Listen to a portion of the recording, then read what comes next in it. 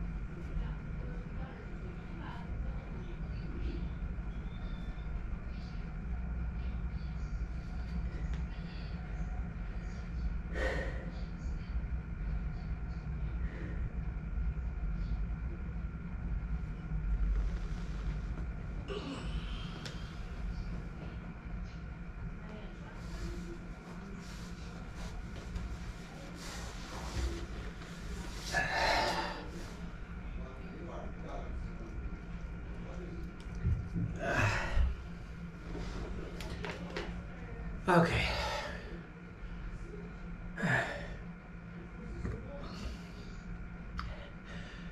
Twenty-five, which is way less than the last three days, but it's not so important.